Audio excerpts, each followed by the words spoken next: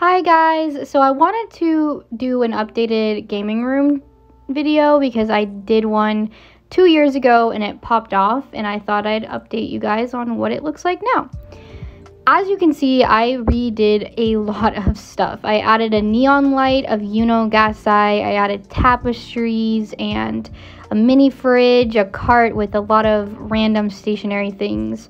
Um, I have lots of plushies now and a new pink chair, which I absolutely love.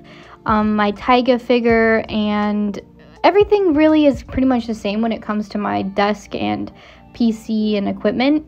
But I did add this cool 3D wall panel and then some lights and flowers and a kunai knife wall, which I absolutely like. And all of the new figures that I have a lot of, and um, some you guys might have seen in my video prior, and other ones are completely new to you.